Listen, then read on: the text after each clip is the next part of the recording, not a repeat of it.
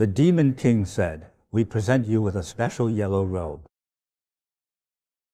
From now on, address me as great sage equal to heaven. Got it? The Jade Emperor was furious and sent his generals to eliminate Wukong. Evening Star pleaded, if he wants that title, grant it to him. Let him have the empty title, Great Sage. The Jade Emperor said, You're right. Let's do as you say. Sun Wukong, today I grant you the title, Great Sage equal to heaven. Your job is to manage the celestial peach orchard. Wukong said, Great, I finally have a job. He really wanted to try the peaches, so he picked some and ate to his heart's content. One day, while napping, he felt someone there picking his peaches. Thief! Great sage, it's us. We were sent by the Queen Mother to pick peaches. She will be holding a peach banquet soon. The great sage asked, Did the Queen Mother invite me to the peach party? Wukong rode his somersault cloud and arrived at the banquet courtyard. He devoured all the delicious food and drinks. Afterward, he decided to flee the scene. He ended up at Tushita Palace, where the Supreme Elder Lord lives. He headed straight for the pill chamber. Next to the furnace, there were five large gourds. No one's around. Let me just try a few. He ate all five gourds.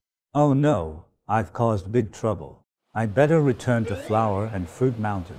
In a flash, Wukong returned to the water curtain cave. Journey to the West, Episode 6 The Uncontrollable Wukong. Sun Wukong arrived at the peach banquet. He indulged in delicious food and fine wine and got thoroughly drunk. The banquet was made a mess and turned upside down. The celestial officials went to report to the Jade Emperor. The Jade Emperor was furious and sent heavenly soldiers to capture Sun Wukong. At this time, Guanyin Bodhisattva also came to attend the banquet. Seeing the tragic scene, she went to the Hall of Divine Mist to see the Jade Emperor. The Jade Emperor recounted all the trouble Sun Wukong had caused to the Bodhisattva. Guanyin Bodhisattva thought for a moment and then said, Your Majesty, please rest assured. I recommend a divine general to you. He can definitely capture this out of control monkey. Who is it, you ask? It is your nephew, Erlang Shen. He has subdued many demons and monsters before. He is definitely up to the task. Upon hearing this, the Jade Emperor immediately ordered Erlang Shen to go and capture Sun Wukong. Erlang Shen led his soldiers to the water curtain cave on Flower and Fruit Mountain. They saw at the entrance a large banner with Great Sage equal to heaven written on it. When Erlang Shen saw Sun Wukong, he said, You impudent monkey, how dare you call yourself the great sage equal to heaven? Wukong replied, Who are you to be so bold? Erlang Shen said, I am Erlang Shen, the Jade Emperor's nephew. Today, I will definitely capture you. Wukong said, Oh, I know you. Your mom is the Jade Emperor's sister. She came to the mortal world and married a mortal man named Yan and had you. Go home, Junior. I'm not going to fight you. There's no need. Why don't you run back to the heavenly courts and bring the four heavenly kings to challenge me instead? Hearing this, Erlang Shen was furious. Impudent monkey, how dare you? Watch how I cut you down. Erlang Shen was truly skilled. Wukong fought him for more than 300 rounds without a clear winner. At this moment, Erlang Shen transformed. He grew to an enormous height, wielding two large swords. With a blue face, fangs, and flaming hair, he fiercely slashed down at Wukong's head. Wukong also used his magic powers. He became as gigantic as Erlang Shen. He held his golden staff and the two started to fight fiercely again. The little monkeys saw this and panicked. They're so tall, menacing, and mighty. They were terrified. Some ran away, fleeing in utter fright. Wukong saw that his little monkeys were scared and running in all directions. He himself felt a bit uneasy and wanted to escape too. Erlang Shen had already noticed this. Wukong, don't even think about escaping. You better surrender, and I'll spare your life. Wukong used the 72 transformations he'd learned and turned into a little sparrow. He flew up to a tree. Unexpectedly, Erlang Shen could also transform. He turned into a hawk and swooped down on the sparrow. Wukong then turned into a cormorant. Erlang Shen turned into a great crane and swooped down on Wukong. Wukong quickly turned into a fish. Erlang Shen turned into a large osprey. Wukong turned into a snake and slithered into the grass. Erlang Shen turned into a red-crowned crane. He tried to eat the snake with his long beak. Wukong ran from Erlang Shen until he was out of breath. He was terrified. The pagoda-bearing heavenly king, the Bodhisattva, and the Supreme Elder Lord came too. The heavenly king used a magic mirror to reveal Wukong. Guanyin Bodhisattva threw the willow branch from her vase, and it hit Wukong on the head. Wukong fell to the ground. The Supreme Lord pulled up his sleeves and took off the Vajra bracelet from his left arm and threw it. It trapped and tightly bound Wukong. Finally, they captured Wukong and took him directly to the heavenly court. Sun Wukong was escorted to the demon execution platform. But no matter if they used blades, fire, or lightning, Sun Wukong remained unscathed. The Jade Emperor asked, What should we do? The Supreme Elder Lord replied, That monkey ate too many celestial peaches, and drank a lot of celestial wine, and even stole and ate all of my golden pills. He has an indestructible body now. Ordinary methods can't harm him at all. I think it's best to hand him over to me. I'll put him in my 8 trigrams pill furnace and refine him. I'll extract my golden pills from his stomach. And he will naturally turn to ashes. Isn't that a good idea? The Jade Emperor said, All right, I'll leave him to you then. The Supreme Elder Lord took Wukong back to his palace and locked him in the 8 trigrams pill furnace. Wukong was very clever. He immediately identified the directions, found the sun position within the 8 trigrams, and squatted there. Sun represents wind, so in that spot, there was no fire, only wind. However, the smoke from the fire still affected him. In the end, Wukong's eyes were reddened by the smoke. But eventually, they turned into fiery golden eyes. He wiped his eyes with his sleeve. His eyes were bright and had gained the ability to see through demons and magic. After 49 days, the furnace fire finally went out. The Supreme Elder Lord prepared to open the furnace to retrieve his pills. Wukong heard it from the inside. The furnace is being opened. He saw a beam of light and immediately leaped out. Wukong jumped out of the furnace, kicked it over, and ran away. The boys tending the fire were also knocked over. The Supreme Elder Lord went to catch him but was also knocked down. Wukong pulled his golden staff out of his ear and started swinging wildly. The gods were in a complete panic. Wukong fought his way to the outside of the Hall of Divine Mist. The Jade Emperor saw the situation was dire. The generals couldn't hold him back. He immediately sent word to the Thunderclap Monastery and requested the Buddha's help.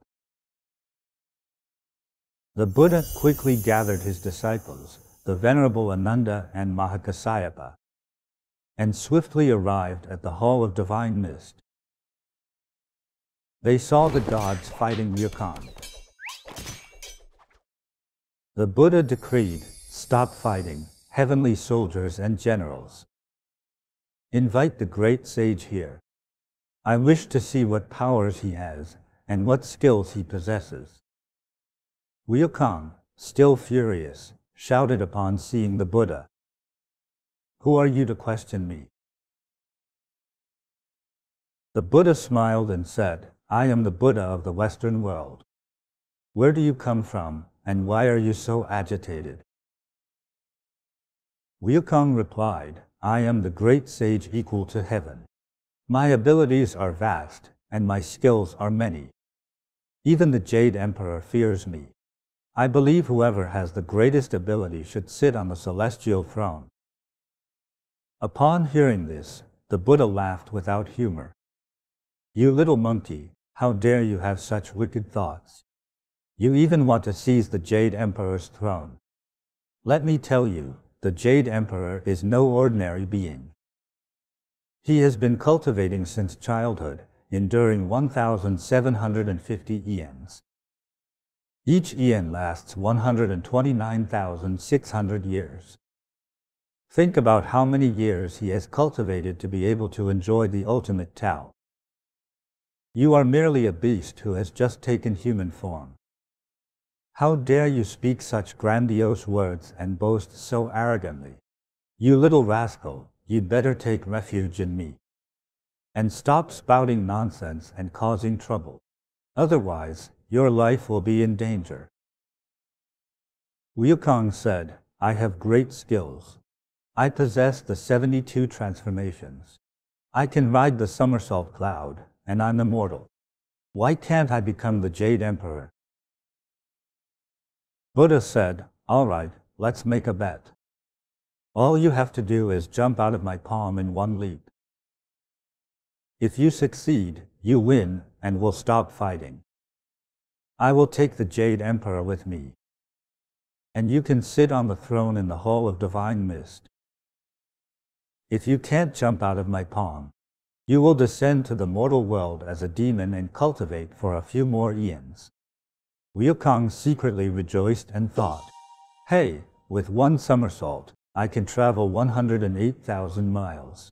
How big can your palm be, Buddha? Isn't it just about a foot wide? This will be easy. I will win for sure. I'm going to be the new Jade Emperor.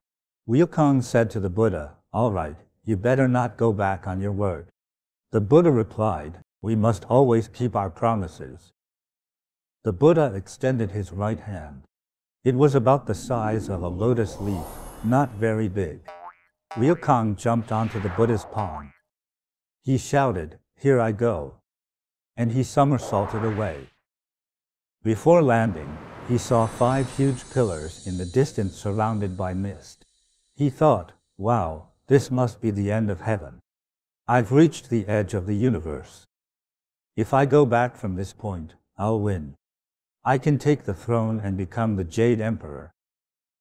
Then he thought, no, I need to leave a mark. What if the Buddha doesn't acknowledge my win? Thinking of this, he plucked a hair, blew on it, and it turned into a brush. Then he picked the middle pillar and wrote, the great sage equal to heaven was here. Maybe it's not enough. Let me also leave a personal mark. So Wukong peed on the base of the pillar. Then he somersaulted back to Buddha and proudly said, I've reached the end of the heavens, and now I'm back. So, how about you tell the Jade Emperor to give me the throne of the celestial palace? The Buddha scolded, You mischievous monkey. You never left the palm of my hand.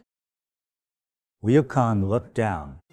On the Buddha's right middle finger were the words, The great sage equal to heaven was here, and there was even a smell of monkey urine. He thought, Isn't this exactly what I did? Wukong was shocked and absolutely couldn't believe it. I don't believe you. I have to check again. Just as Wukong jumped up and tried to fly out again, Buddha flipped his palm and his five fingers instantly turned into five mountains of gold, wood, water, fire, and earth. They joined to form the Five Elements Mountain. The Buddha gently trapped Sun Wukong under the mountain.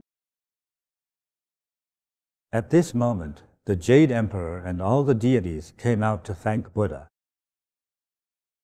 Finally, peace was restored to the world. This monkey is too powerful and troublesome. At this moment, a patrol officer reported, Buddha, the great sage equal to heaven, has stuck his head out. The Buddha took out a strip of paper from his sleeve. It had six golden characters on it. Om Mani Padme Hum. He handed it to Ananda, instructing him to place it on the mountaintop. Once the mantra was placed on the mountaintop, the mountain seamlessly connected and settled so tightly into the earth, no one could lift or pry them apart. It was as if they had taken root. Kong's head could no longer emerge. He was obediently trapped under the five elements mountain. The Buddha, in his great mercy, summoned a local earth god and five guardian gods to guard the five elements mountain. He instructed the earth god that when Kong was hungry, they could feed him balls of iron. If he was thirsty, they could give him molten copper to drink. But rest assured, when his sentence is over, someone will come to rescue him. Wukong remained under the Five Elements mountain for a full 500 years.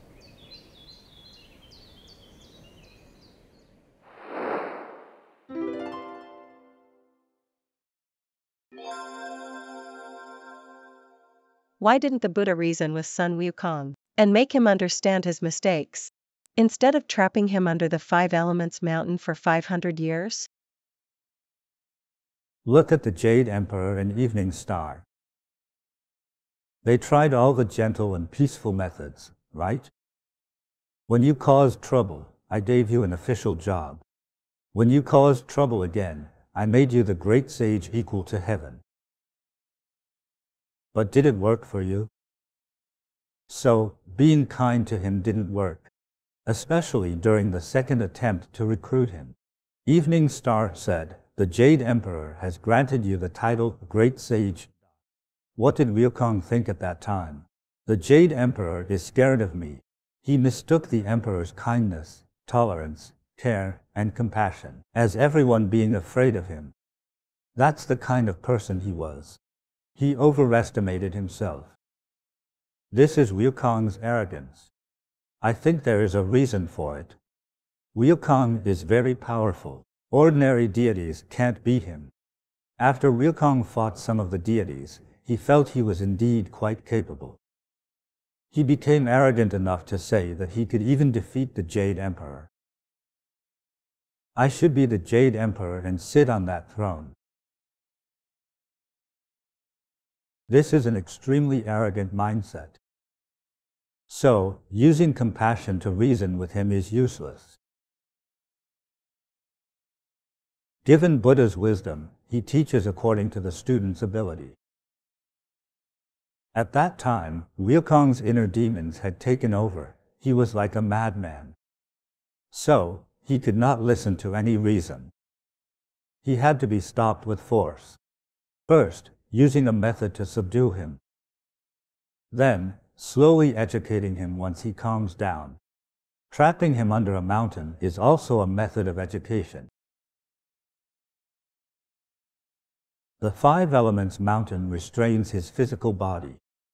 The six syllable mantra restrains his heart, his inner demons. The wildness within his heart, the restlessness, arrogance, and the reckless fury. Only the six syllable mantra can suppress it. When the mantra is placed atop the mountain, perhaps then Wukong's heart will no longer harbor arrogance and rebellion, and he may find peace. The five elements mountain and the six syllable mantra become one. One restrains the body, the other the mind, so he remains subdued. It's actually quite a good opportunity for cultivation.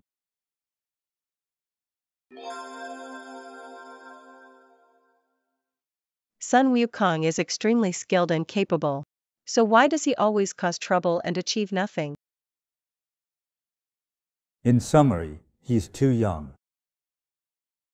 Being too young means he hasn't experienced much of life's ups and downs. It was fortunate for him that he wanted to learn skills when young. And once he started, he found a good master and quickly gained abilities. Then he became arrogant, and with arrogance, he caused a lot of trouble. So, to summarize, there are roughly four types of situations for a person. The first type is having neither virtue nor ability. What would the result be?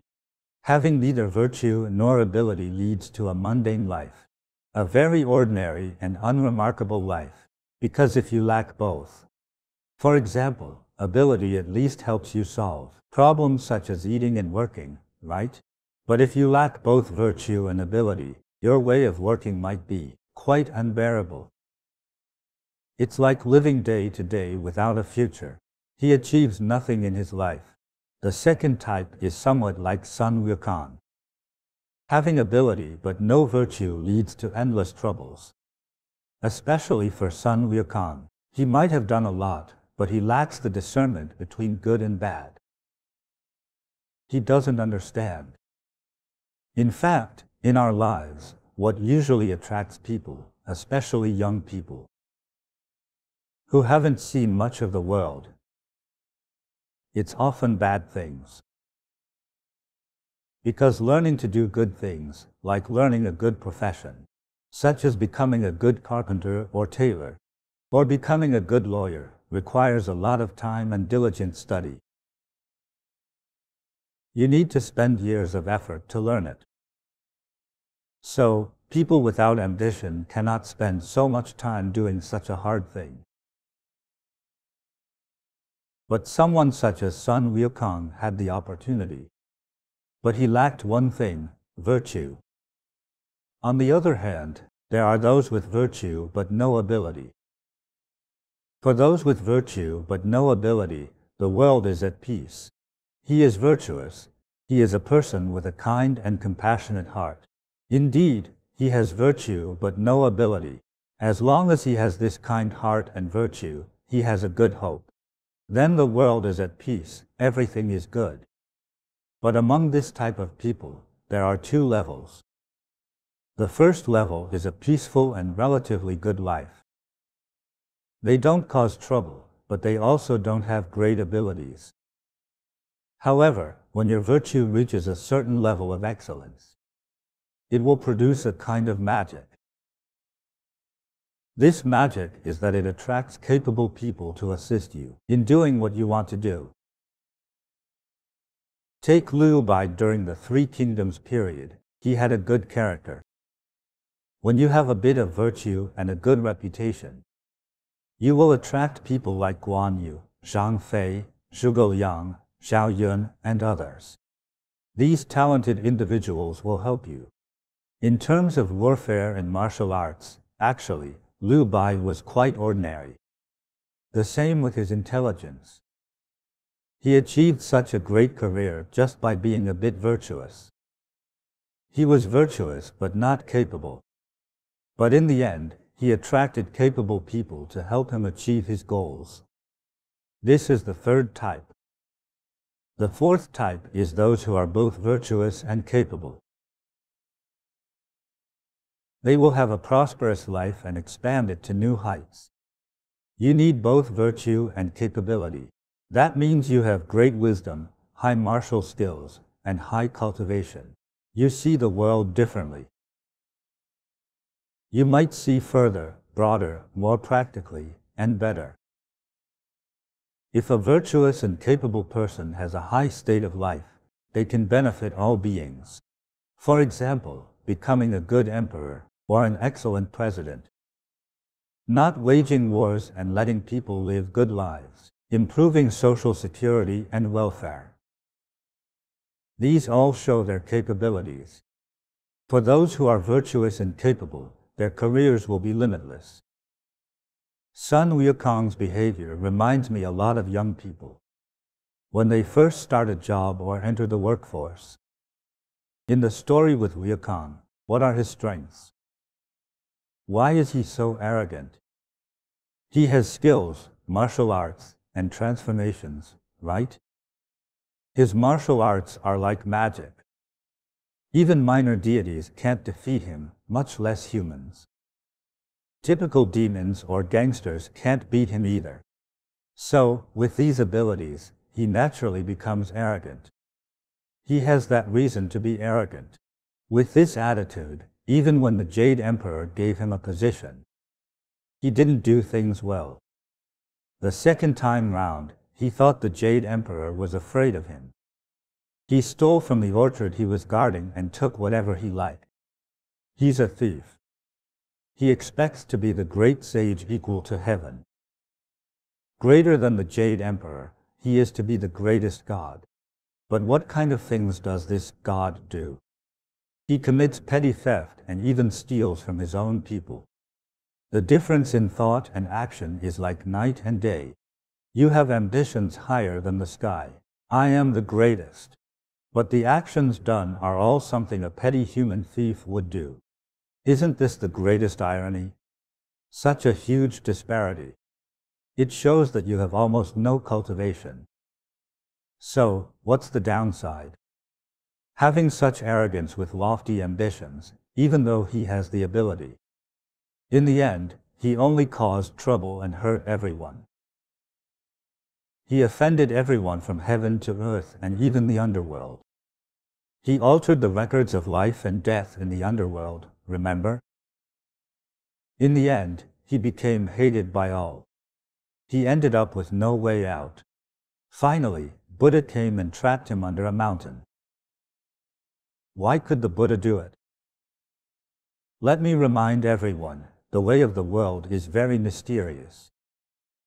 In my study of Chinese philosophy, the two components of Tao are yin and yang. Yin and yang have no fixed patterns.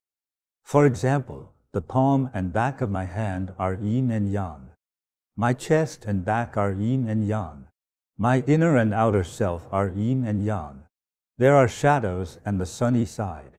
The side with shadows is the yin side. Good and bad things are also balanced. Even if your ability is very strong, somewhere there's a person with exactly the skills to deal with you. That person and situation are meant to counter you. It's like they are tailor-made for you. That's why the Chinese draw the symbol of the Tao as a circle with a yin-yang fish in the middle. True yin and yang are mixed and indistinguishable. For example, the greater your greed, the greater your disaster. The greater your evil, the higher the righteousness that counters you.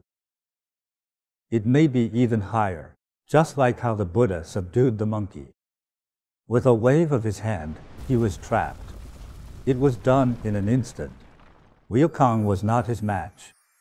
You are just a small, insignificant person.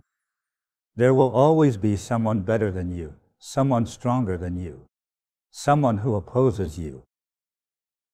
In this world, no one is an absolute success. Just like the four types of people we just mentioned, if you lack virtue and cultivation and you also lack ability. I've seen kids with no capabilities who are arrogant. They can't do anything, but they say they want to be president. They do have grand ambitions. But between their actions and their ambitions, I see impossible odds for success. Because they don't learn anything and lack knowledge. People become wise through knowledge. With wisdom, one can achieve greater things. If you don't learn anything, you won't have wisdom. What can you achieve then? The second type is those with some ability, like Sun Wukong. He is quite capable. When he fights his opponents, he is quite strong. Today, he would be a world champion, like a boxing champion, but even this will fail because he has no virtue. Without virtue, he won't be able to empathize with others, to understand others, to put himself in others' shoes.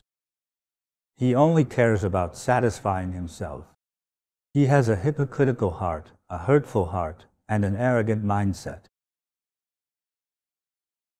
Sun Wukong has abilities but no virtue. All the Sun Wukongs out there should be careful. For example, in contemporary terms, I attended a very prestigious university. I was also a top student. But I know many such outstanding young students who get fired quickly after joining a company, or they quit soon after. Why? It's their arrogance. I graduated from a prestigious university. Say, the employee is a PhD graduate from Harvard. But what about their boss? He might be from an unknown school or didn't go to college. You become arrogant toward your boss, often criticizing and giving him orders. With such arrogance, do you think the employee will work well? He looks down on his boss. Will he contribute well to the company? It's impossible, right? So, they get fired quickly. In the end, when looking for jobs, many highly educated people are feared by many employers. They end up all show and no substance. They don't lack knowledge, but their state of mind is too low. This is called having education but lacking character. They are difficult to employ. When we have a bit of background, a bit of academic achievement. And even when some people enter the workforce, they might earn a lot of money. But it doesn't mean that the next step will be successful. In every country, in every era, there is always a group of very smart and capable people, almost universally recognized as genius students. After working for 10 years, around the age of 35 to 38, they have a bit of success. Some became wealthy, some were hired by big companies with high salaries. They have both power and ability. But this does not determine that they are truly successful. It just means they are enjoying a bit of initial success. True success is when your entire life is successful. Why do I say this? I know many people, and many have sought my advice. They once made a lot of money, but then they lost all the money they earned. Or they were swindled out of it, or they exhausted it themselves. Some men were deceived by women. This state is called a fate more fragile than paper. I offer this reminder or my thoughts for those who want to become wealthy in the future. Not just creating wealth, but also keeping it, besides having high intelligence. You also need to possess noble virtues. And even then, just these two qualities may not be enough. There is a third factor.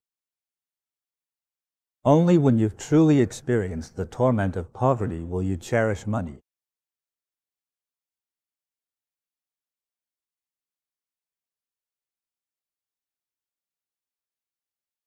And you will absolutely cherish every penny earned through your own hard work. You won't invest recklessly. You won't be easily deceived. You won't spend carelessly. Only then can you preserve your wealth. Becoming wealthy in the long term is true wealth. Becoming wealthy temporarily is not true wealth. For a person to achieve great success, you must learn to endure a lot of hardship. Only by enduring the hardest hardships can one become a better person. The experience and tempering of hardship make a person strong, cautious, and diligent. Also, it teaches self-control over various thoughts and desires. Only then can one become truly reliable and a wise, successful person. After 500 years, who will rescue Sun Wukong. Stay tuned for the next episode.